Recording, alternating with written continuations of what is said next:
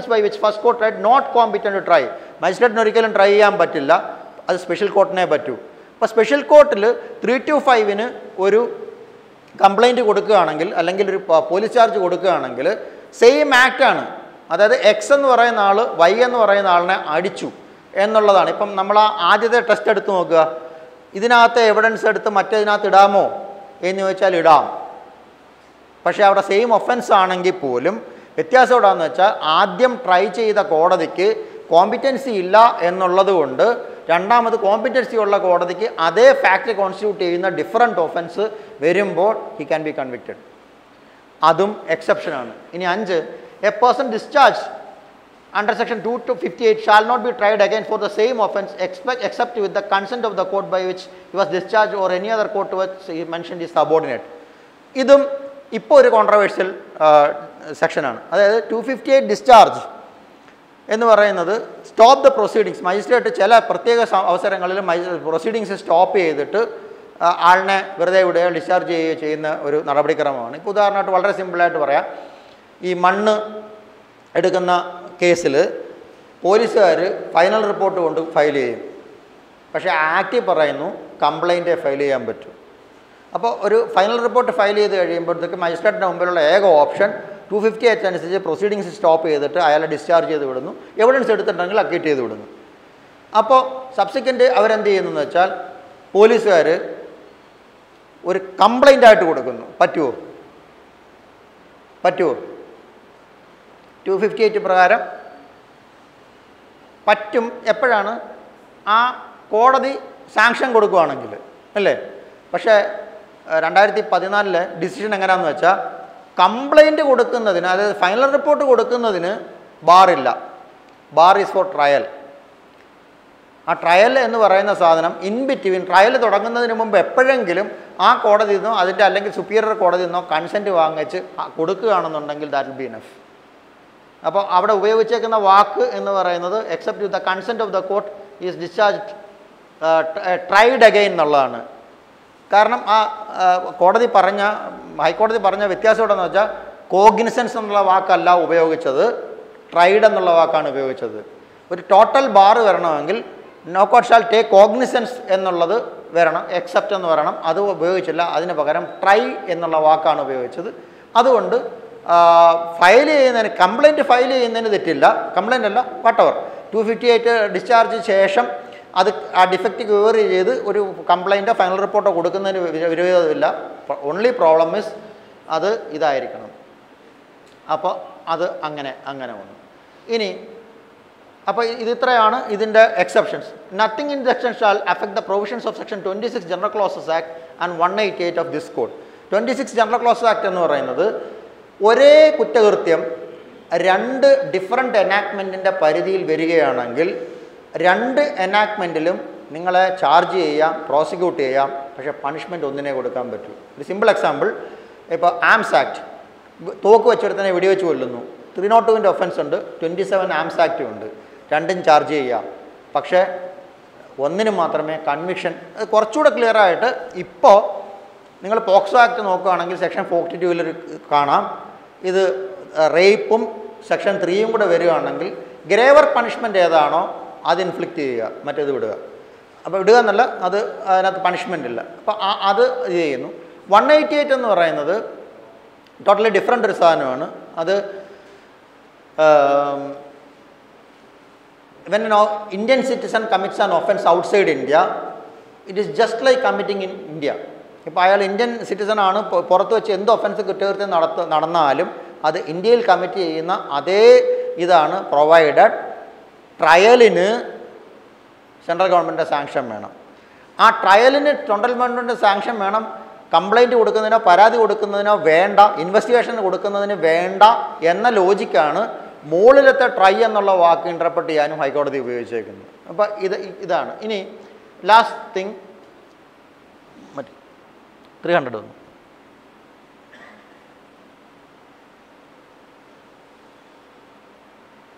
Three hundred three ഏറ്റവും last lastly explanation dismissal of a complaint or discharge of an accused is not an acquittal for the purpose of this section അത് വളരെ clear ആണ്. കാരണം ഒരു കംപ്ലൈന്റോ dismiss ചെയ്തു എന്നുള്ളത് കൊണ്ട് ഒരു ഫുൾ ഫ്ലെഡ്ജ് ട്രയൽ നടക്കുന്നില്ല. കാരണം അവിടെ ഒരു വാലിഡ് പ്രോസിക്യൂഷൻ ഇല്ല. ഒരു വാലിഡ് പ്രോസിക്യൂഷൻ ഇല്ല എന്ന് പറഞ്ഞാൽ ഇപ്പം ഇൻകോമ്പിറ്റന്റ് ആയ ഒരു ഉദ്യോഗസ്ഥൻ ഒരു ചാർജ് ഷീറ്റ് കൊണ്ട് കൊടുത്തു. അപ്പോൾ ആ ചാർജ് ഷീറ്റ് കോടതി ഡിസ്മിസ് ചെയ്യൂ. അങ്ങനെ ഉണ്ടെന്നുണ്ടെങ്കിൽ ആ ഡിസ്മിസൽ എന്ന് പറഞ്ഞു കഴിഞ്ഞാൽ പക്ഷേ ഫുൾ ഇതായിരിക്കണം. ഇപ്പം എൻ ഡി പി എസ് ആക്ടിൽ ജസ്റ്റിസ് മേരി ജോസഫിന്റെ ഒരു ഡിസിഷൻ ഉണ്ട്. അതെന്താ കാര്യം വെച്ചാൽ മനോഹർലാൽ മോഹൻലാൽ എന്ന് പറഞ്ഞ ഡിസിഷൻ പ്രകാരം N D P S ആക്ടിൽ complainant cannot be the investigating officer അപ്പോൾ അങ്ങനെ കൊടുത്ത ചാർജുകളിൽ ആ ചാർജ് കോടതിയുടെ പരിഗണനയിലിരിക്കുമ്പോൾ അവർ one seventy three eight petition ഇട്ടു. ഇട്ടിട്ട് വേറൊരു വേറൊരു ഉദ്യോഗസ്ഥനെ കൊണ്ട് ഫയൽ അന്വേഷിച്ചിട്ട് അത് കറക്റ്റ് ചെയ്യാൻ ശ്രമിച്ചു. അപ്പോൾ കോടതി പറഞ്ഞു അത് നടക്കത്തില്ല. കാരണം ഒരിക്കൽ കൊടുത്തു പോയി കഴിഞ്ഞാൽ ത്രീ നോട്ട് നയൻ ഇട്ട് സ്റ്റോപ്പ് ചെയ്തിട്ട് ഒരു കാരണവശാലും ചെയ്യാൻ പറ്റുകയില്ല എന്ന് അപ്പം അതല്ല ഉദ്ദേശിക്കുന്നത്. ഇപ്പം ടു ഫിഫ്റ്റി എയ്റ്റിലെ ഡിസ്മിസിൽ അല്ലെങ്കിൽ കംപ്ലയിന്റ് എന്തെങ്കിലും ഡീഫോൾട്ടിന് ഒരു സക്സസ്ഫുൾ പ്രോസിക്യൂഷൻ നടന്നിട്ടില്ലെങ്കിൽ ഒടഫോവ അക്യൂറ്റലോ കൺവിക്ഷനോ ഇല്ല. അപ്പോൾ അതുകൊണ്ട് ഒരിക്കലും അത് ഒരു ഡിസ്ചാർജ് ആയിട്ട് കഴിയുകയില്ല ഇപ്പോൾ ഇതാണ് ഇതിന്റെ ഒരു ഒരു ബേസ് അപ്പോൾ ഈ ഈ ഇത് ഞാനിപ്പോൾ പറഞ്ഞത് ഇതിന്റെ ഒരു സാരാംശം എന്ന് പറയുന്നത് ത്രീ ഹൺഡ്രഡ് എന്ന് പറയുന്ന സെക്ഷൻ ആക്ച്വലി ഒരു റിലീവിങ് സെക്ഷൻ അല്ല. രണ്ട് മുതൽ അഞ്ച് വരെ അത് ഒരു ഡ്യൂട്ടി കാസ്റ്റ് ചെയ്യുന്ന ഒരു എനാക്ട്മെന്റ് ആയിട്ടാണ് ഇത് വന്നിട്ടുള്ളത്. ഇതാണ് എനിക്ക് ഇത്രയും ഡബിൾ ജിയോ പാർട്ടിയെ പറ്റി പറയാനുള്ളൂ. ഇനി നമുക്ക് അവസാനത്തെ ചോദ്യത്തിലേക്ക് എത്താം. നിങ്ങൾക്കിത് കേട്ടതിൽ നിന്ന് മമ്മൂട്ടിയെ ശിക്ഷിക്കാമോ ഇല്ലയോ? ഏ? കേട്ടില്ല. ഇത് മീഡിയേഷൻ അല്ല. അപ്പോൾ എന്റെ എനിക്ക് തോന്നുന്ന ഒരു ചോദ്യം ഉത്തരം ആ കോൺസിക്വൻസ് സബ്സിക്വന്റായിട്ടാണ് വന്നത്. അത് കോടതിയുടെ അറിവിലില്ലായിരുന്നു എന്നുള്ളത് കൊണ്ട് മൂന്നിന്റെ ബെനഫിറ്റ് എടുത്ത് ബെനഫിറ്റ് അല്ല മിസ്ചീഫ് എടുത്തിട്ട് കൺവിക്റ്റ് ചെയ്യാൻ ചെയ്യേണ്ടി വരും എന്നാണ് തോന്നുന്നത്. ഇതാണ് എനിക്ക് ഈ സെക്ഷനെ പറ്റി പറയാനുള്ളത്. ഇനി നമുക്ക് കുറച്ച് നേരം ഡിസ്കഷൻ ആവാം. അതല്ലെങ്കിൽ പറഞ്ഞോ? എന്തെങ്കിലും? എന്തെങ്കിലും ക്ലാരിറ്റി വേണ്ടുന്ന പോയിന്റ് ഉണ്ടോ? അറ്റ്ലീസ്റ്റ് ക്ലിയർ ആണോ ഞാൻ പറഞ്ഞത്? കേട്ടില്ല. വേണ്ട എഴുതി തന്നെ ചോദിച്ചോ.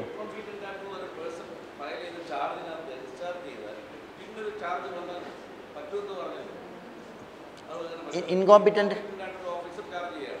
അല്ല ഇൻകോമ്പിറ്റന്റ് ആയ ഓഫീസർ ചാർജ് ചെയ്യുവാണെങ്കിൽ സെയിം ഫാക്റ്റ് ആണ്? പറ്റത്തില്ലെന്നാണ് ഡിസിഷൻ ആണ് ഞാൻ പറഞ്ഞത്.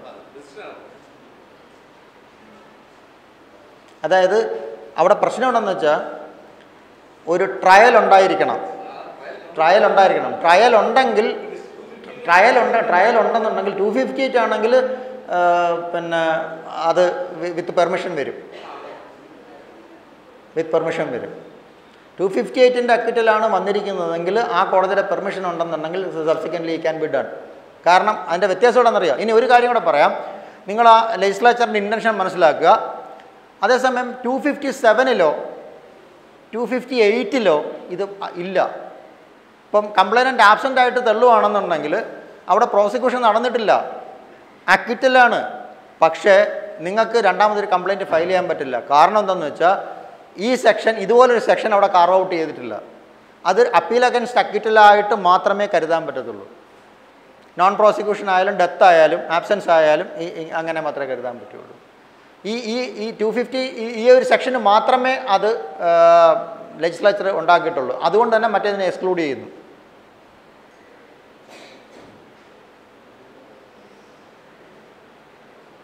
ഞാൻ പിന്നെ ആദ്യമേ പറഞ്ഞു നിങ്ങളെ ഞാൻ ഡബിൾ ജിയോ പാർഡി ആ ഇനി ഉച്ചയ്ക്ക് ശേഷം ക്ലാസ് എടുക്കുക എന്ന് പറഞ്ഞ ഡബിൾ ജിയോ പാർഡി അല്ല. കാരണം എന്തെന്ന് വെച്ചാൽ രണ്ടും രണ്ട് ഇൻഗ്രീഡിയന്റ് ആണ്.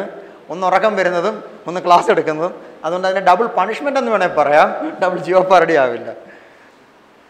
ഇനി വേറെ ഇതിപ്പോൾ എന്തായാലും നാല് മണി വരെ എങ്കിലും എട്- എടുക്കേണ്ടി വരും. അപ്പോൾ അതുകൊണ്ട് നിങ്ങൾ ആരും സംശയം പറഞ്ഞില്ലെങ്കിൽ നമ്മളെ വേറെ ഏതെങ്കിലും ഒരു വിഷയത്തിലേക്ക് സ്വിച്ച് ഓവർ ചെയ്യുക ഏത് വിഷയമായിരിക്കും നിങ്ങൾ സജസ്റ്റ് ചെയ്യുന്നത്? ഇപ്പം നമ്മൾ ആ ആ തുടങ്ങുന്ന എവിടാണ്? എ പേഴ്സൺ അങ്ങനെയാണെങ്കിൽ അത് കംപ്ലീറ്റ് ആയി കംപ്ലീറ്റ് ആയി പക്ഷേ ഒരു കാര്യമുണ്ട്. സക്സസ്ഫുൾ പ്രോസിക്യൂഷൻ നടന്നോ ഇല്ലയോ എന്നുള്ളതാണ് പ്രശ്നം. സക്സസ്ഫുൾ പ്രോസിക്യൂഷൻ നടന്നോ ഇല്ലയോ? ഇപ്പോൾ ഉദാഹരണമായിട്ട് അത് അവരെ വൺ ഒരു വൺ സെവന്റി ത്രീ എയ്റ്റ് നടത്തി ഒരു ഇൻവെസ്റ്റിഗേഷൻ നടത്തി ഒരു ഫുൾ പ്രൂഫ് ചാർജ് നടത്തിയാൽ നമുക്ക് ത്രീ ഹൺഡ്രഡിന്റെ ബെനിഫിറ്റ് ചോദിക്കാൻ പറ്റില്ല. ത്രീ ഹൺഡ്രഡിന്റെ ബെനിഫിറ്റ് നടത്തണമെങ്കിൽ ഒരു ഒരു ഒരു ഒരു ട്രയൽ ഫുൾ ബ്രിഡ്ജ് ആയിട്ട് നടന്നിരിക്കണം.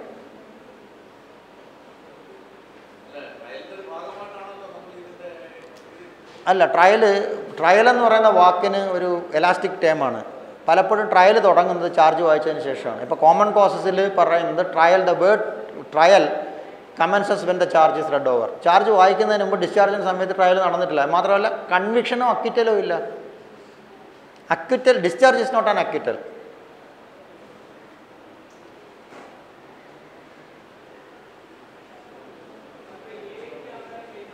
കേട്ടില്ല? ആ. ആ അതെന്താ കാര്യം എന്നറിയോ കണ്ടിന്യൂയിങ് ഓഫൻസ്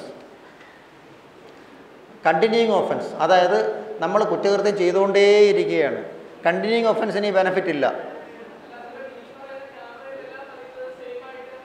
അല്ല അങ്ങനല്ല അങ്ങനല്ല. എന്താ കാര്യം എന്നറിയോ from this place to this place നിങ്ങൾ അതാണ് അത് സെയിം ട്രാൻസാക്ഷനിൽ വരും. സെയിം ട്രാൻസാക്ഷനിൽ വരും. പക്ഷേ കണ്ടിന്യൂയിങ് ഓഫൻസ് ആണ്. ത്രീ ഹൺഡ്രഡിന്റെ ബെനിഫിറ്റ് നമുക്ക് ചോദിക്കാൻ പറ്റില്ല. കാരണം when you are travelling without helmet or seat belt each moment you are committing an offence അത് അതാണ് അന്ന് എ ഡി ജി പി പറഞ്ഞത്. കാസർഗോഡ് നിന്ന് കൊല്ലത്തേക്ക് വരുന്ന ഒരാൾ ഓരോ പ്രാവശ്യവും ഒഫൻസ് കമ്മിറ്റ് ചെയ്തുകൊണ്ടേയിരിക്കുകയാണ് കാരണം അത് ഓരോ ജൂറിസ്ഡിക്ഷനിലാണ് കമ്മിറ്റ് ചെയ്യുന്നത്.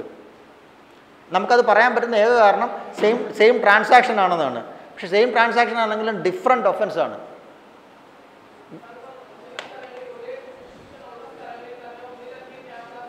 അത് അതാണ് ഞാൻ പറഞ്ഞത്. കണ്ടിന്യൂയിങ് ഒഫൻസിന്റെ വ്യത്യാസം അതാണ്. നമ്മൾ കണ്ടിന്യൂയിങ് ഒഫൻസ് എന്ന് പറഞ്ഞൊരു സാധനമല്ലേ കണ്ടിന്യൂയിങ് ഒഫൻസ് എന്ന് വെച്ചാൽ ഒഫൻസ് ഈ ബീങ് കണ്ടിന്യൂഡ് ഇപ്പോൾ അത് അത് കർവ് ഔട്ട് ചെയ്യുന്ന ഇപ്പോൾ എങ്ങനെയാണെന്നറിയാം ഇപ്പോൾ ഒരു ഉദാഹരണത്തിന് ഒരാൾ കാശ് മോഷ്ടിച്ചുകൊണ്ടേ ഇരിക്കുക. അമ്പ അമ്പലത്തിൽ നിന്ന് കാശ് മുട്ടിക്കുക രാവിലെ പത്ത് രൂപ മുട്ടിച്ചു പത്ത് മണിക്ക്. പത്തഞ്ചിന് അഞ്ച് രൂപ മുട്ടിച്ചു ഇങ്ങനെ മോട്ടിച്ചുകൊണ്ടേ ഇരിക്കുക. അയാൾക്ക് പറയാൻ പറ്റുമോ? ഞാൻ മോട്ടിച്ചത് ഒറ്റ പ്രാവശ്യമല്ലേ മോട്ടിച്ചുള്ളൂ എന്ന് പറയാൻ പറ്റുമോ?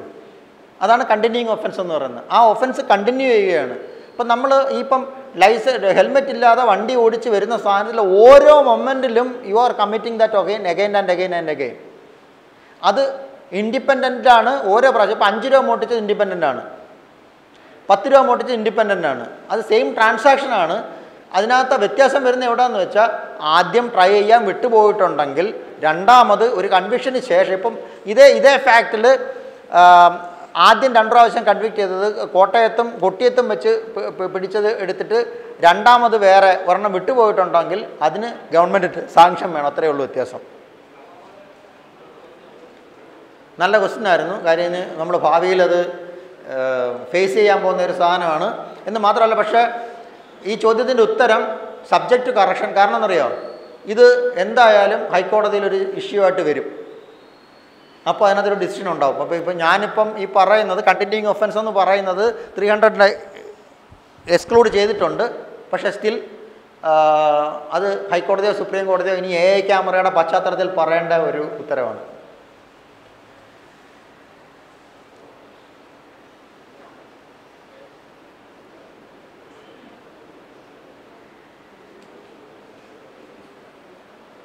ഇനി വേറെ ഇത് ഇത് ഇത് ഇതിപ്പം എനിക്ക് കൺവേ ചെയ്യാൻ പറ്റി എന്ന് ഞാൻ വിശ്വസിക്കും. അപ്പോൾ ഞാനിപ്പം ഒരു കാര്യം നിങ്ങളോട് ചോദിക്കുന്നത് നമ്മൾ ത്രീ ഹൺഡ്രഡ് എന്ന് മനസ്സിലാക്കിയതിനും മനസ്സിലാക്കിയ കാര്യങ്ങളായിരുന്നു ഇത്. അതിനപ്പുറത്ത് ഇത് എക്സെപ്ഷൻ ആയിരുന്നു എന്നുള്ളത് മനസ്സിലാക്കാൻ പറ്റി.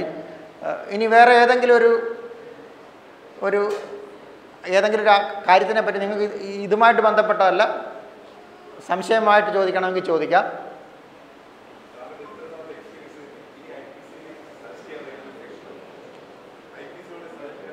I P C? I P സിയിൽ ആ. ഐ പി സിയിലേക്ക് സജസ്റ്റ് ചെയ്യാൻ പറ്റുന്നതോ? എന്റെ ഞാൻ ഈ മക്കളെ ഇത്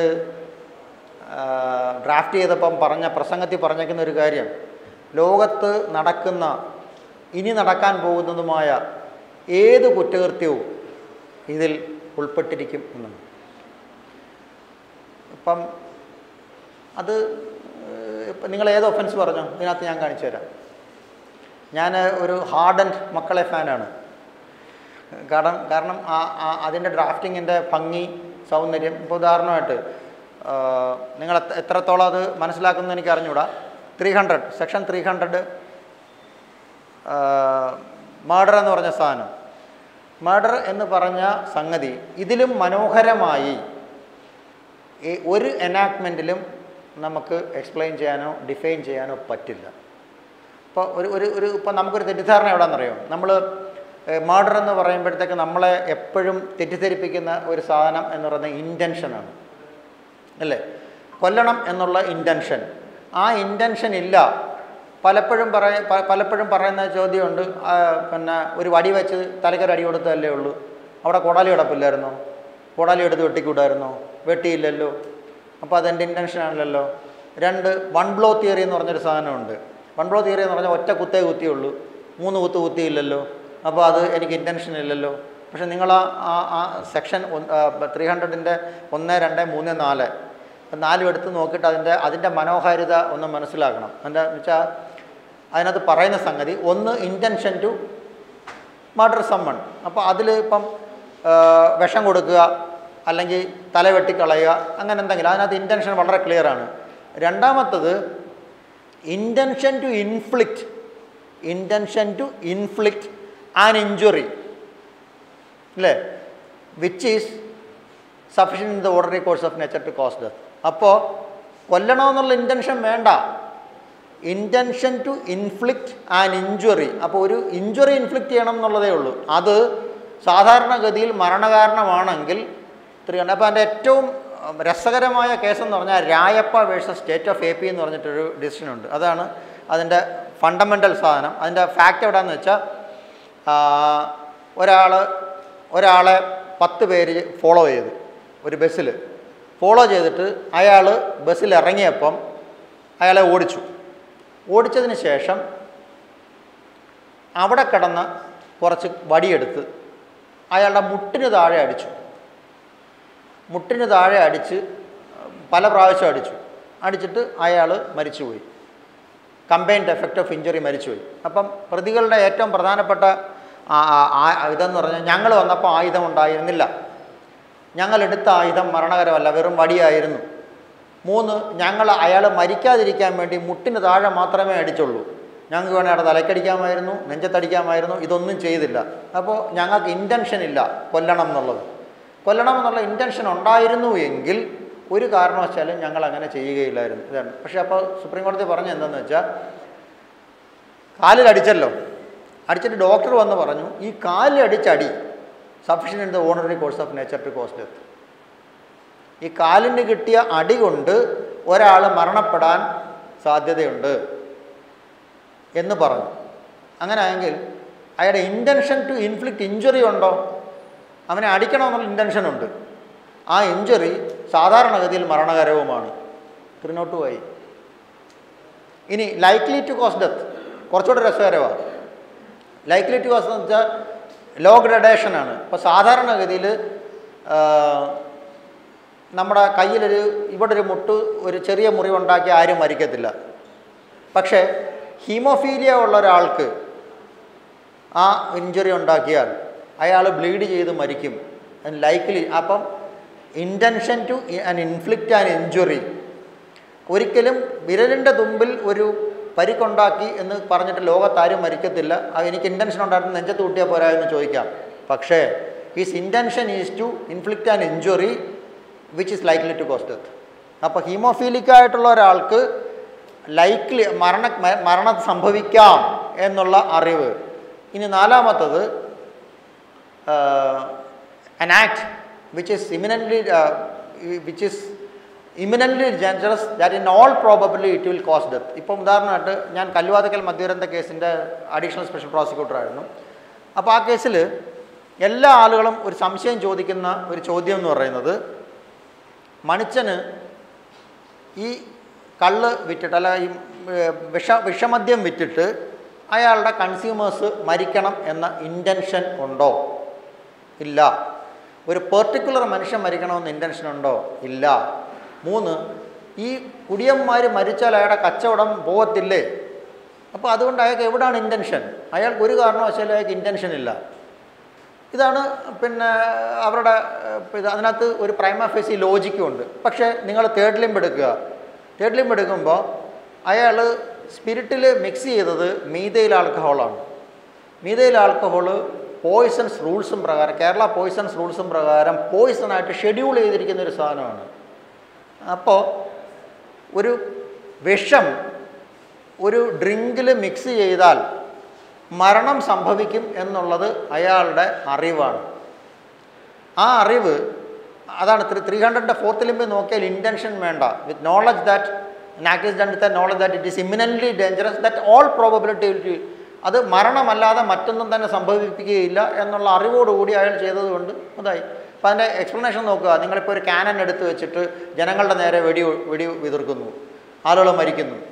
ആളുകൾ മരിക്കുമ്പോൾ ഒരു പെർട്ടിക്കുലർ ആളിനെ അയാൾ കൊല്ലണമെന്ന് അയാൾക്ക് ഇന്റൻഷൻ ഇല്ല. പക്ഷേ അയാൾക്ക് അറിയാം ഈ ജനക്കൂട്ടത്തിനെതിരെ വെടി ഇത് വെച്ചാൽ ഇത് മരിക്കുകയുള്ളെന്ന്. അപ്പം ഇത് നമ്മൾ ഇത്തരത്തിൽ നമ്മുടെ ഒരു മിസ്കോൺസെപ്ഷൻ പല കാര്യത്തിലുമുണ്ട് പല പല കാര്യത്തിലുമുണ്ട് ഈ ഐ പി സിയിലെ സംബന്ധിച്ച് നമ്മൾ തെറ്റായ ധാരണ ഇപ്പോൾ ഉദാഹരണമായിട്ട് ആരോടൊന്നില്ലാതെ അസഭ്യം പറഞ്ഞു. Two ninety four B obscenity അത് ചീത്ത വിളിച്ചാൽ ഉടനെ ഇടുന്ന ഒരു സാധനമല്ലേ അത്? പക്ഷേ ടു നയന്റി ഫോറിന്റെ ഇൻഗ്രീഡിയന്റ് എന്തോ? ഒപ്സിനിറ്റിയുടെ അർത്ഥം എന്തോ? ഒപ്സിനിറ്റി എന്ന് പറഞ്ഞാൽ ലസീവിയസ് എന്നാണ് അർത്ഥം. ലസീവിയസ് എന്ന് പറഞ്ഞാൽ ഇംപ്യൂർ സെക്ഷൽ തോട്ട് എന്നാണ്. അപ്പം ആ സിക്സ്റ്റി സിക്സിൽ മുതൽ കേരള ഹൈക്കോടതി പറയുന്നുണ്ട് this section is not intend for this ചീത്ത വിളിക്കുന്നതിനല്ല കഴിവറുടെ മോനെ എന്ന് വിളിച്ചാൽ ഇംപ്യൂർ സെക്ഷൽ തോട്ടോ ഒരു ലൈംഗിക ചോദനയോ ആർക്കെങ്കിലും ഉണ്ടായിട്ടുണ്ടെങ്കിൽ അവൻ എന്തോ ഒരു കുഴപ്പമുണ്ട് എന്നുള്ളതാണ്. അപ്പോൾ ആ നമുക്ക് ഈ പറയുന്ന വാക്ക് കേൾക്കുമ്പോൾ നമുക്കൊരു ലൈംഗിക ചോദന ഉണ്ടാവുമെങ്കിൽ മാത്രമേ ടു നയന്റി ഫോർ ബി വരുന്നുള്ളൂ. പക്ഷെ അൺഫോർച്ചുനേറ്റ്ലി എല്ലാ സെഷൻസ് കോടതി കൺവിക്ട് ചെയ്യുന്നുണ്ട് ഹൈക്കോടതി കൺവിക്ട് ചെയ്യുന്നുണ്ട് എല്ലാവരും കൺവിക്ട് ചെയ്യുന്നുണ്ട്. പക്ഷേ അതിന്റെ ഇൻഗ്രീഡിയന്റ് എന്ന് പറയുന്നത് ഒരിക്കലും ചീത്ത വിളിച്ചു എന്നുള്ളത് ഇപ്പം ഇപ്പം ഇപ്പം നമ്മൾ ടു നയന്റി ഫോർ ബിക്ക് ഉപയോഗിക്കുന്ന ചീത്തകളെല്ലാം തന്നെ അറപ്പും വെറുപ്പും ഉളവാക്കുന്നതാണെന്ന് പറയാം. ഒരിക്കലും ലസീവിയസ് അല്ല. ഫോർജറി ഫോർജറി നമ്മൾ പലപ്പോഴും അതായത് അത് രണ്ടായിരത്തിന് ശേഷം ഉണ്ടായ അമെൻമെന്റിൽ വന്ന വ്യത്യാസം. ശരി thank you thank you thank you madam രണ്ടായിരത്തിന് ശേഷം വന്ന അമെൻമെന്റിന്റെ വ്യത്യാസം. രണ്ടായിരത്തിന് ശേഷം ഒരു വന്ന അമെൻമെന്റ് എവിടെയെന്ന് വെച്ച് കഴിഞ്ഞാൽ പണ്ട് ആന്റി ടൈംഡ് ഡോക്യുമെന്റ് ഫോർജഡ് ആയിരുന്നു. ഇപ്പം അതല്ലാതായി.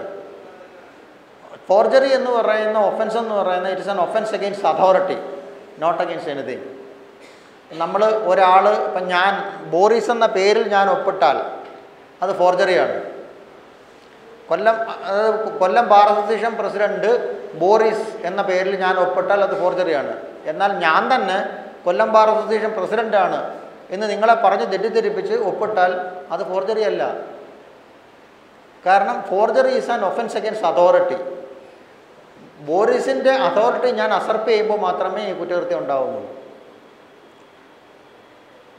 ഇതാണ് അതിന്റെ ഇൻഗ്രീഡിയന്റ് ഇനി എന്തെങ്കിലും നിങ്ങൾക്ക് ചോദിക്കാനുണ്ടോ? ഏതാ?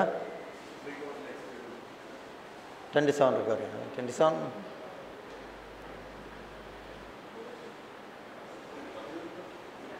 അല്ല പറ വേറെ എന്തെങ്കിലും പറഞ്ഞു ഇപ്പം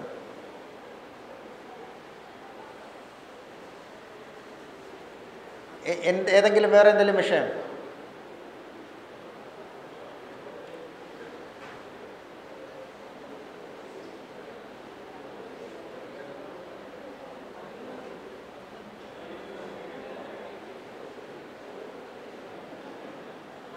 നിങ്ങൾക്ക്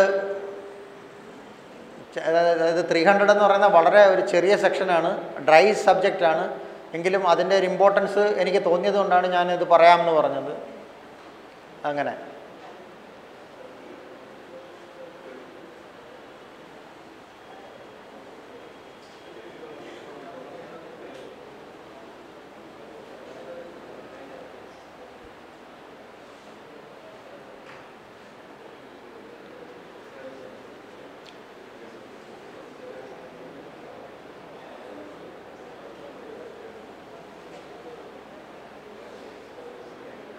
ഒന്നുമില്ല. ഏ?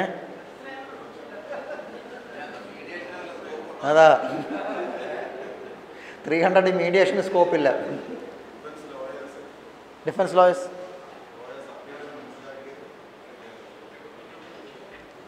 അല്ല അല്ല അല്ല നിങ്ങളുടെ പരീക്ഷാ സംബന്ധമായിട്ട് ഇതൊരു എക്സാമിനേഷൻ ഓറിയന്റഡ് ആയിട്ടല്ലേ? അപ്പം നിങ്ങൾക്ക് എന്തെങ്കിലും ഏതെങ്കിലും ഒരു ഒരു പെർട്ടിക്കുലർ സബ്ജക്റ്റ് ക്രിമിനലിൽ നിങ്ങൾക്ക് താല്പര്യം ഉണ്ടെങ്കിൽ അത് നമുക്കറിയാവുന്ന തന്നെ പറയാം. കേട്ടില്ല? Confession and admission okay confession and admission എന്ന് പറയുന്നത്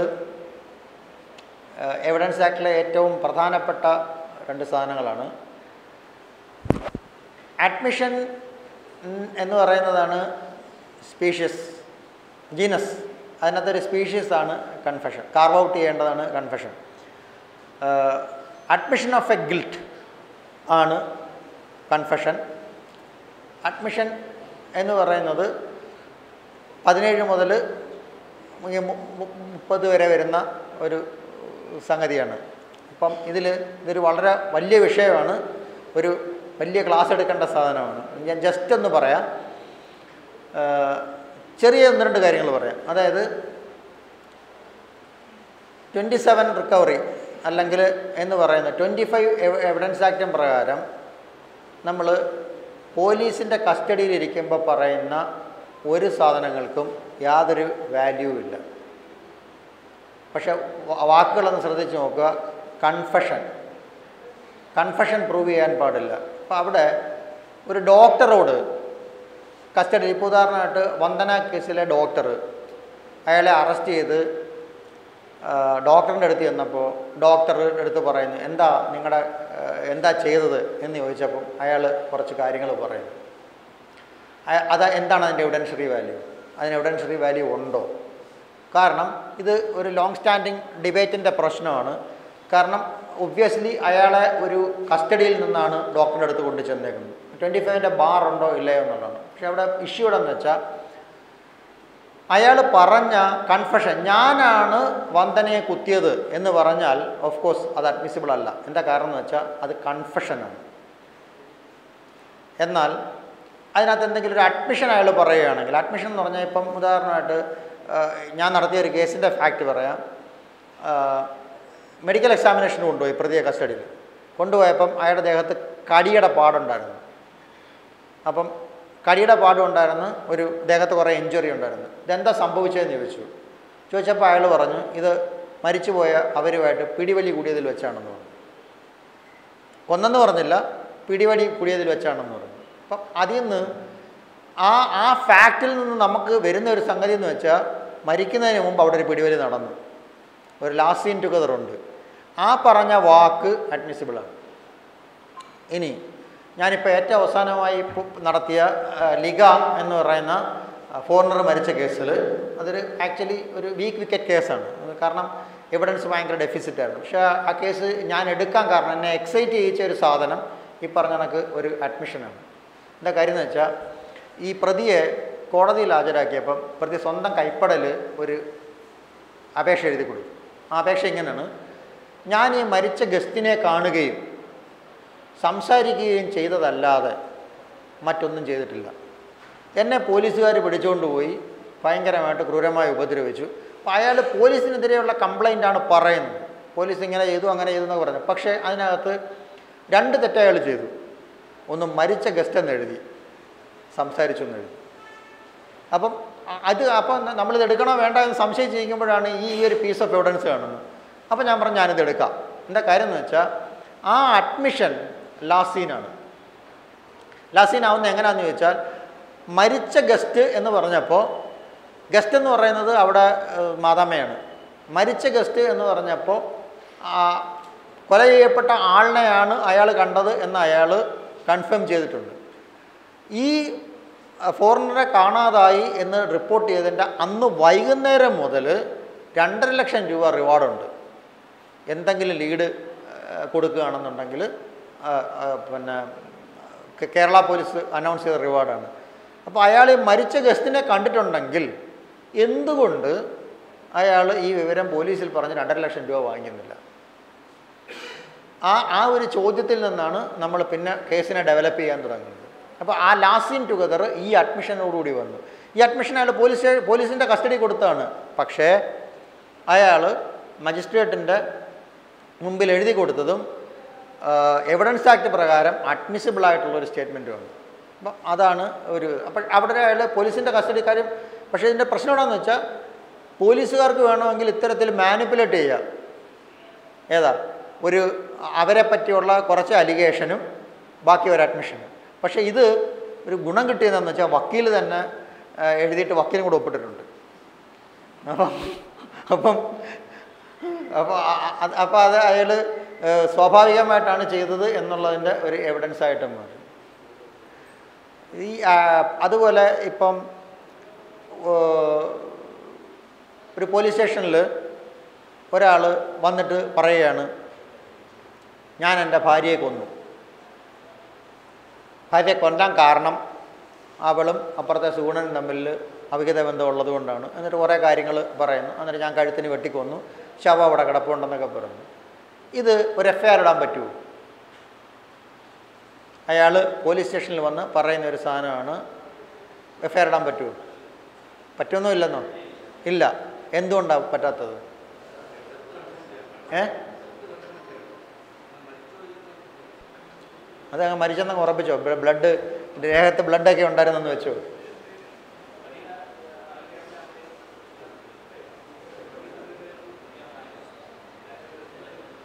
എന്നാൽ എഫ് ഐ ആർ ഇടാം.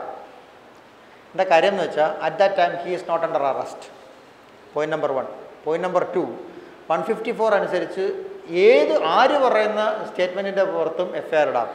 അതിന്റെ എവിഡൻഷറി വാല്യൂ ആണ് പ്രധാനം. സുപ്രീം കോടതി അങ്ങോട്ടും ഇങ്ങോട്ടും പറഞ്ഞു. ഒന്ന് രണ്ട് കേസുകളിൽ പറഞ്ഞു ഇതിപ്പം ഈ പറഞ്ഞ കണക്ക് അതൊരു പോലീസിന്റെ മുമ്പിൽ കൊടുത്തൊരു സ്റ്റേറ്റ്മെന്റ് ആയതുകൊണ്ട് അതിന് യാതൊരു പ്രൊബേറ്റീവ് വാല്യൂ ഇല്ലെന്ന് പറഞ്ഞു. പക്ഷേ ഒരു കേസിൽ സുപ്രീം കോടതി പറഞ്ഞു ഈ സ്റ്റേറ്റ്മെന്റിനെ ഇൻകൾപ്പേറ്ററിയും എക്സ്പൾപ്പേറ്ററിയും ആയിട്ട് രണ്ടായിട്ട് തിരിക്കണം. അതായത് അയാൾക്ക് എതിരെയുള്ള തെളിവാവുന്നതും തെളിവാവാത്തത്. ഉദാഹരണമായിട്ട് ഞാൻ എന്റെ ഭാര്യയെ കൊന്നു. എടുക്കാൻ പറ്റില്ല. കൺഫെഷനാണ് പക്ഷെ അവൾക്ക് സുഗണനുമായിട്ട് അവിഹിത ബന്ധമുണ്ടായിരുന്നു. അത് മോട്ടീവിലേക്ക് വരുന്നതും എസ്കൽപ്പേറ്ററിയുമായിട്ട് എടുത്തു. അങ്ങനെ ഇതിനെ രണ്ടാക്കി തരംതിരിച്ച് തരംതിരിച്ചെടുത്തു അതും അഡ്മിഷനിൽ വരുന്നൊരു സാധനം. അവിടെ കൺഫഷൻ മാത്രമേ ഒഴിവാക്കുന്നുള്ളൂ അഡ്മിഷൻ ഒഴിവാക്കുന്നില്ല എന്നുള്ളതാണ് തിയറി ട്രയലിൽ മനസ്സിലായില്ല ചോദിച്ചില്ല. പറ്റും. പിന്നെ പതിനേഴും പ്രകാരം പറ്റും ഇരുപത്തിനാലും പ്രകാരം പറ്റും. മുപ്പതും പ്രകാരം പറ്റും സെക്ഷൻ ടെൻ പ്രകാരം പറ്റും. നിങ്ങൾ ഈ ഐ പി എസിലെ എവിഡൻസ് ആക്ടിലെ ഏറ്റവും പ്രധാനപ്പെട്ട ഒരു സെക്ഷനാണ് സെക്ഷൻ ടെൻ എന്ന് പറയുന്നത്. Section ten evidence act under utilized ആയിട്ടുള്ള ഒരു സെക്ഷനായിരുന്നു. പണ്ട് വിവിയൻ ബോസിന്റെ കാലത്ത് ഉപയോഗിച്ചതിന് ശേഷം പിന്നെ അത് ഉപയോഗിക്കുന്നത് രാജീവ് ഗാന്ധി മർഡർ കേസിലാണ്.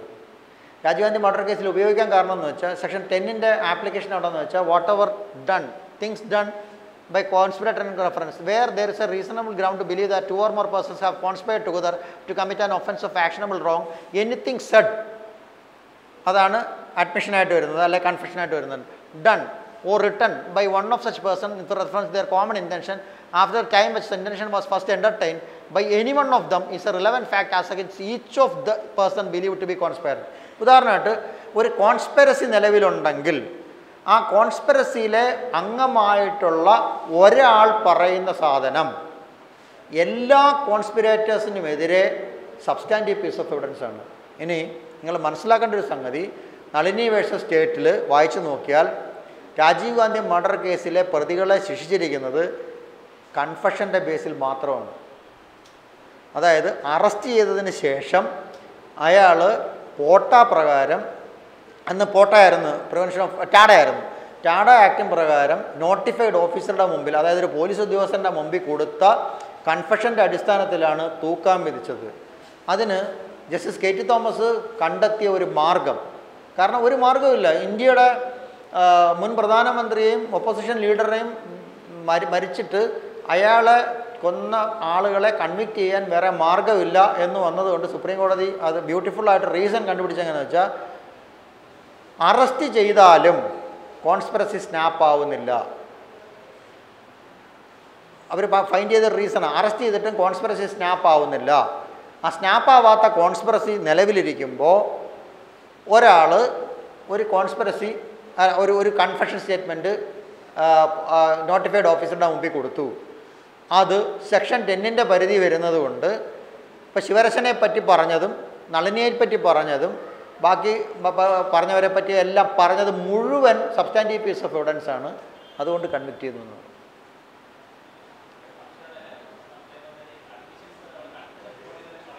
കൺഫെഷൻ അല്ലല്ല അത് ജുഡീഷ്യൽ കൺഫെഷനാണ് അല്ലല്ല കാര്യം എക്സ്ട്രാ ജുഡീഷ്യൽ കൺഫെഷൻ എന്ന് പറഞ്ഞൊരു സാധനമുണ്ട്. അഡ്മിഷൻസ് എക്സ്ട്രാ എക്സ്ട്രാ ജുഡീഷ്യൽ ആവാം. എനിക്ക് ആ ചോദ്യം മനസ്സിലായില്ല. അത് കൺഫെഷൻ അത്രയല്ലേ ഉള്ളൂ? പിന്നെ അങ്ങനെ.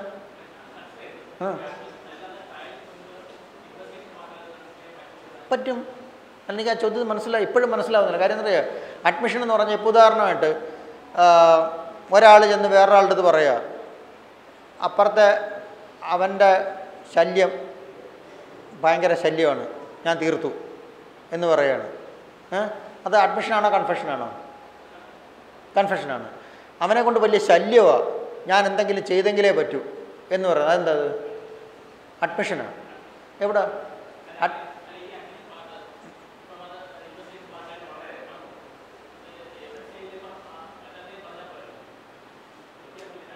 അല്ല അങ്ങനല്ല. ആരാണോ ഓവർ ഹിയർ ചെയ്ത് അയാൾ പറയണം. ഏ? അഡ്മിഷനും കൺഫെഷൻ എന്ന് പറഞ്ഞാൽ ഐതർ റിട്ടൽ ഓർ ഓറലായിരിക്കണം ഇപ്പം ഏതോ ഒരു സിനിമയിൽ ഇന്നസെന്റ് മലയാളം മുകളിൽ കയറി എന്നുകൊണ്ട് സത്യം പറയുമല്ലോ അപ്പോൾ വേറെ ആരുടെങ്കിലും പറയാൻ ഇത് മനസ്സിൽ ഈ കിടന്നിങ്ങനെ ഇത് ഇത് തിളയ്ക്കുന്നത് കൊണ്ട് കുന്നിന്റെ പുറത്ത് കയറിയെന്ന് പറഞ്ഞു. അങ്ങനെ പറഞ്ഞത് കൊണ്ട് അത് കൺഫ്യൂഷൻ ആവുന്നില്ല അഡ്മിഷൻ ആവുന്നില്ല. പക്ഷേ അത് കേൾക്കുമ്പം ഒരു ഒരാൾ കേൾക്കുന്നെന്ന് വെച്ചു. ആ കേട്ട് കഴിഞ്ഞാൽ അത് കൺഫെഷനോ അഡ്മിഷനോ ആയി.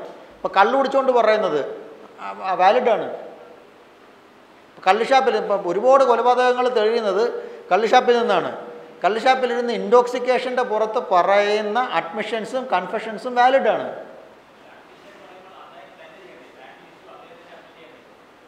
അല്ല അപ്പം ഇനി ആ ഇപ്പം എനിക്ക് മനസ്സിലായി. അജിത്ത് ആ അജിത്ത് ചോദിക്കുന്ന ചോദ്യം അയാൾ കോടതി വന്ന് പറഞ്ഞാലേ കൺഫെഷൻ ആവത്തുള്ളൂ. അഡ്മിഷൻ ആയ അഡ്മിഷനും കൺഫെഷനും തമ്മിൽ വ്യത്യാസമില്ല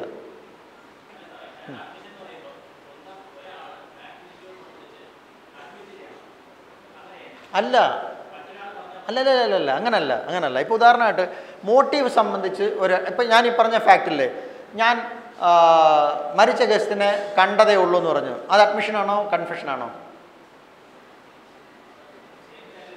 ഏ? അത് അഡ്മിഷനാണ് കാര്യം കൺഫെഷൻ എന്ന് പറയുന്നത് അഡ്മിഷൻ ഓഫ് ഗിൽറ്റ് ആണ്.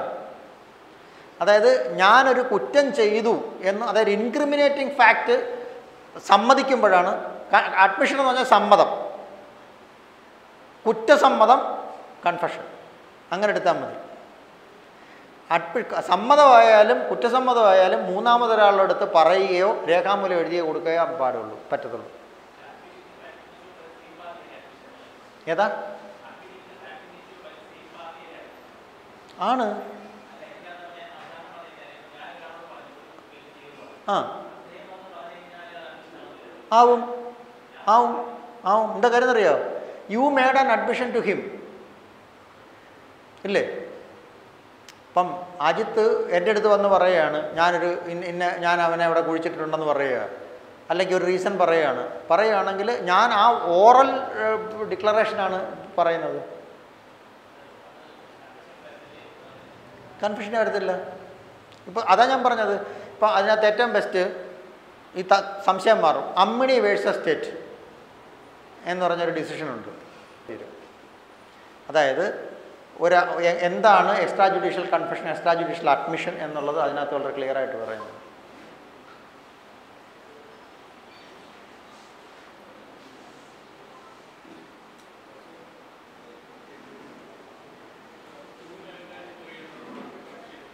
ടു നയന്റി നയൻ ത്രീ ഹൺഡ്രഡോ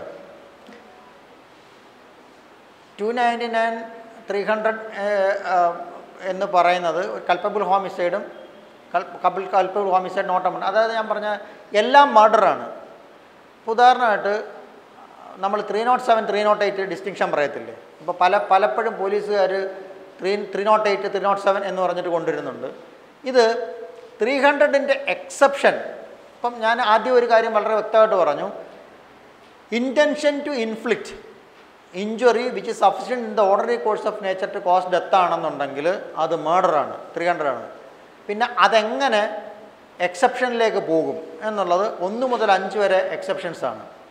ആ എക്സെപ്ഷൻസ് ഇപ്പോൾ right of private defence heat of passion consent depriving self control ഇങ്ങനെ പറയുന്ന ഏതെങ്കിലും ഇപ്പം ഒരു സാധനത്തിൽ വരുമ്പോൾ മാത്രം അത് ഇന്റൻഷനോടുകൂടി തന്നെ ചെയ്യുന്നതാണെങ്കിൽ ഇപ്പോൾ ഒരു ഉദാഹരണമായിട്ട് രണ്ട് പേര് ആ, ഇരുന്ന് വളരെ സ്നേഹമായിട്ട് കള്ളുഷാപ്പിൽ വരുന്നു.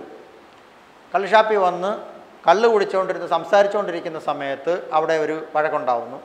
വഴക്കുണ്ടാവുമ്പം ഒരാൾ അമ്മയ്ക്ക് വിളിക്കുന്നു അല്ലെങ്കിൽ എന്തെങ്കിലും മോശമായിട്ട് പറയുന്നു. കുപ്പിയെടുത്ത് നേരെ തലയ്ക്ക് ഒരു അടി വെച്ച് കൊടുക്കുന്നു. ആ തല തലയ്ക്ക് അടിക്കുമ്പോഴത്തേക്ക് he's inflicting an ഇൻഡ injury which is sufficient the ordinary course of nature to cause death. പക്ഷേ അവിടെ അയാൾ ചെയ്തേക്കുന്നത് ഹീറ്റ് ഓഫ് പാഷനിലാണ് അല്ലെങ്കിൽ ലോസ്റ്റിംഗ് പവർ ഓഫ് സെൽഫ് കൺട്രോളാണ് അപ്പം ആ ഫാക്റ്റ് തെളിയുമ്പം അത് ലോ ഗ്രേഡഡ് ആവും അതിലേക്ക് താഴേക്ക് വരും. ഇനി റൈറ്റ് ഓഫ് പ്രൈവറ്റ് ഡിഫൻസ് അനുസരിച്ച് നമുക്ക് ഒരാളെ കൊല്ലാനുള്ള അവകാശമുണ്ട്. ഉദാഹരണമായിട്ട് ഞാൻ രാത്രി വീട്ടിൽ ഉറങ്ങിക്കിടക്കുന്ന സമയത്ത് ഒരു കള്ളൻ വന്ന് നിൽക്കുകയാണ്. എന്റെ തോക്കുണ്ട്. അപ്പോൾ കള്ളൻ കത്തിയായിട്ട് നിൽക്കുകയാണ്. കത്തിയായിട്ട് നിൽക്കുമ്പോൾ എനിക്ക് അവനെ എന്നെ കുത്തും എന്ന് തോന്നലുണ്ടെങ്കിൽ ഞാൻ വെടിവെച്ച് കൊന്നാൽ അതൊരു ഒഫൻസല്ല പക്ഷേ അവൻ തിരിഞ്ഞു. എന്നെ ഞാൻ ഉണന്നു എന്ന് കണ്ടപ്പോഴത്തേക്ക് അവൻ തിരിഞ്ഞിട്ട് ഓടാൻ പോവുക. ഓടാൻ പോകുന്നവനെ ഞാൻ വെടിവെച്ചാലോ? അപ്പം എനിക്ക് മരണഭയമില്ല. ഞാൻ എന്റെ right of private defence exceed ചെയ്തു. അപ്പോൾ അത് ത്രീ ഹൺഡ്രഡിന്റെ എക്സെപ്ഷനിലേക്ക് വരും. എക്സീഡിങ് റൈറ്റ് ഓഫ് പ്രൈവറ്റ് ഡിഫൻസാണ് അടുത്ത ഗ്രേഡിലേക്ക് പോകുന്നത്. ഇത് ഇത് വളരെ സിമ്പിളായിട്ട് പറഞ്ഞാണ്. അത് വളരെ ഗഹനമായ വിഷയമാണ്. ഇപ്പോൾ തുടങ്ങിക്കഴിഞ്ഞാൽ തീരത്തില്ല. അതുകൊണ്ടാണ്. അപ്പോൾ അത് ആ എക്സെപ്ഷനിൽ നിന്നാണ് അത് കാർവ് ഔട്ട് ചെയ്ത് വരുന്നത്. Three nought seven three nought eight എന്ന് പറഞ്ഞാൽ ഈ പറഞ്ഞ ഇന്റൻഷൻ ടു മേർഡർ ആണെന്നുണ്ടെങ്കിൽ three nought seven. Three nought eight എന്ന് പറയുന്ന ആക്ച്വലി ത്രീ ഹൺഡ്രഡിന്റെ എക്സെപ്ഷൻസിൽ വരുന്ന സാധനങ്ങൾ കമ്മിറ്റ് ചെയ്താൽ മാത്രം. ഇപ്പോൾ ഉദാഹരണമായിട്ട് ഈ പറയുന്ന കള്ളുഷാപ്പ് വെച്ച് തലക്കടിച്ചു. ആൾ മരിച്ചില്ല. ആൾ മരിച്ചില്ല എങ്കിൽ അത് പെട്ടെന്ന് ഹീറ്റ് ഓഫ് പാഷൻ ചെയ്തതിന്റെ അറ്റംപ്റ്റ് ആയതുകൊണ്ട് അത് ത്രീ നോട്ട് എയ്റ്റ് വരും. ഞാൻ കള്ളനെ വെടിവെച്ചു. ഓടിപ്പോയ കള്ളനെ വെടിവെച്ചപ്പോൾ അവൻ മരിച്ചില്ല എങ്കിൽ ഞാൻ എന്റെ right of private defence exceed ചെയ്തു. പക്ഷേ അത് അറ്റംപ്റ്റ് ആയുള്ളൂ മരണം നടന്നില്ലെങ്കിൽ അവിടെയും ത്രീ നോട്ട് എയ്റ്റ് വരുന്നു. ഇനി വേറൊരു സാധനമുണ്ട് കൺസെന്റ് ഇപ്പം പലപ്പോഴും ഉണ്ടല്ലോ നമ്മൾ തല ആപ്പിൾ വെച്ചിട്ട് വെടിവെക്കാൻ പറയും. അല്ലെങ്കിൽ കത്തിയെറിയാൻ പറയും. അപ്പം ആപ്പിൾ വെച്ചിട്ട് വെടിവെക്കാൻ പറയുന്നതിന്റെ വീരപ്പനെ പിടിച്ച വിജയകുമാർ പുള്ളി എനിക്കറിയാവുന്നൊരു പോലീസ് ഓഫീസർ ചെന്നപ്പം അയാളുടെ സെക്യൂരിറ്റി ഗാർഡിന്റെ തലയിൽ ഒരു ആപ്പിൾ വെച്ചിട്ട് ആ ആപ്പിൾ വെടിവെക്കുക അപ്പോൾ ഇത് കണ്ടുകൊണ്ട് പോയ ഓഫീസർ പറഞ്ഞു ദിസ് ഇസ് ഹൈറാർക്കൽ ആബ്രേഷൻ എന്ന് പറഞ്ഞു. അതായത് മേലുദ്യോഗസ്ഥന് അയാളുടെ തലയിൽ വെച്ചിട്ട് വെടിവെക്കാം അപ്പോൾ അയാൾ പറഞ്ഞു വെയിറ്റ് എന്ന് പറഞ്ഞു. എന്നിട്ട് അയാൾ പോയി അയാളുടെ തലയിൽ ആപ്പിൾ വെച്ചു. എന്നിട്ട് പി എസ് ഒ എടുത്ത് വെടിവെക്കാൻ പറഞ്ഞു. അവൻ തിരിച്ചു തിരിച്ച് വെടിവെച്ചു. അപ്പോൾ ഇതിപ്പോൾ അപ്പം പതിനെട്ട് വയസ്സിന് മേലുള്ള ഒരാൾ ആ റിസ്ക് അറിഞ്ഞുകൊണ്ട് വെടിവെക്കാൻ പറയുക. കഷ്ടകാലത്തിന് ഒരിഞ്ച് തെറ്റിപ്പോയി അവിടെ നെറ്റിക്കാ കൊണ്ടായാലും മരിക്കുകയാണെന്നുണ്ടെങ്കിൽ എന്തോ ഒഫൻസ് അവിടെ ആ കൺസെന്റ് ഉള്ളത് കൊണ്ട് പതിനെട്ട് വയസ്സ് മേലുള്ള ഒരാൾ കൺസെന്റ് ഉള്ളത് കൊണ്ടായതുകൊണ്ടും അയാളെ റിസ്ക് സ്വയം ഏറ്റെടുത്തതായതുകൊണ്ടും അത് ത്രീ ഹൺഡ്രഡിന്റെ എക്സെപ്ഷനാണ് അത്തരം ഒരു ഇപ്പോൾ ഉദാഹരണമായിട്ട് സർക്കസിൽ കത്തിയേറ്. കത്തിയേറ് പള്ളയ്ക്ക് തന്നെ കൊണ്ട് മരിക്കേണ്ടതാണെന്നുണ്ടെങ്കിൽ അവൻ കൺസെന്റ് ഉള്ളതുകൊണ്ട് അത് കുറ്റകൃത്യമുണ്ട്. അയാൾ കൺസെന്റ് ഉള്ളതുകൊണ്ട് അത് അതിന്റെ അറ്റംപ്റ്റ് വരുവാണെങ്കിൽ ത്രീ നോട്ട് എയ്റ്റിലേക്ക് വരും. That's all